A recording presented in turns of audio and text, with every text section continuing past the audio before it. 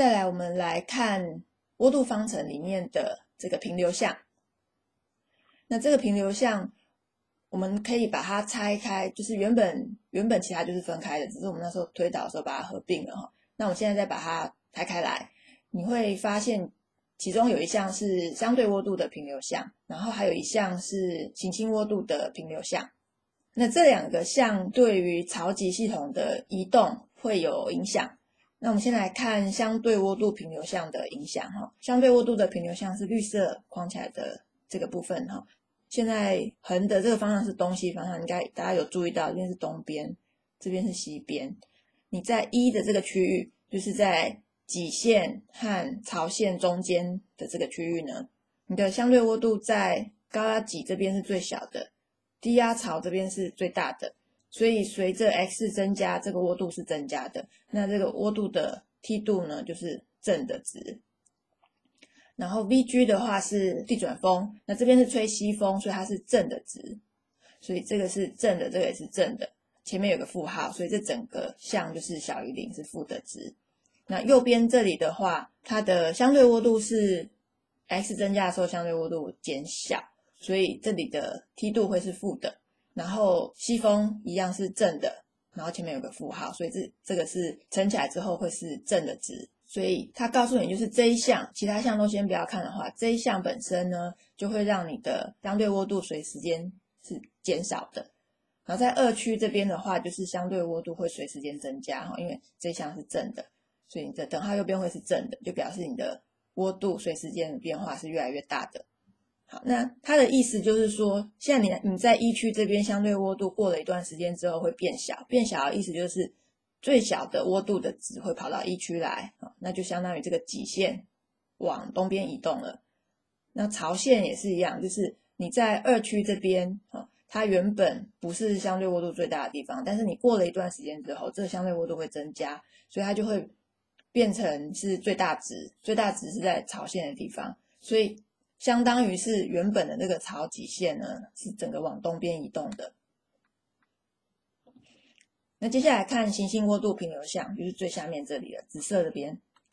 这个贝塔的这个项哈，在北半球的话一定是正的，因为 F 的话随着 y 增加，F 就会增加，所以这个一定是正的。然后 Vg 的话，在一区的话是往南吹，所以它是负的值。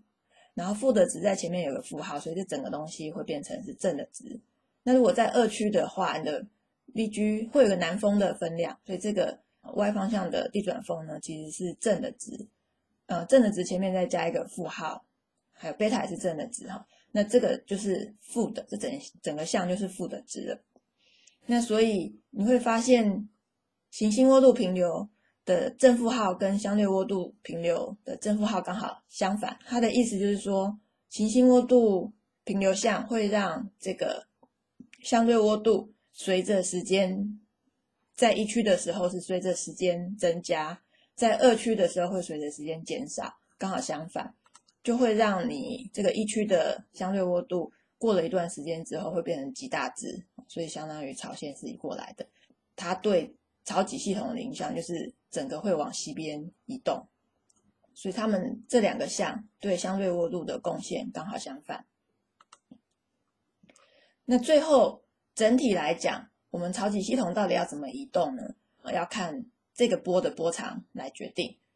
那如果它是比较短的波，我们在大气里面讲所谓比较短的波，是指这个波长哈，波长就是这里有个几，这有个几，从这个几到下一个几之间的这个长度叫波长。那这个波长要如果它小于三千公里的话，相对涡度平流向就是主导的，它就会往东边跑。所以短的波会跑比较快，往东边跑。那长的波，在我们大气里面讲的是超过一万公里的波。那长波的尺度比较大，所以它比较容易感受到，嗯，科斯利的效应。所以它的行星涡度平流向会比较大，所以就会变成是这一项主导，波就会倾向于往西边移动。中间波段就是介在上面这个两个波段中间的话，这个潮汐系统就会近似滞留，或者是。它用很慢很慢的速度往东边移动，因为我们通常都会有西风带，就是背景场会是吹西风，所以它在西风稍微大一点的情况下，你会看到它还是会被背景场带着往东边移动，所以它会用很慢的速度往东边移动。那或者是如果背景场风速不是很大的话，看起来就会像是滞留在原地。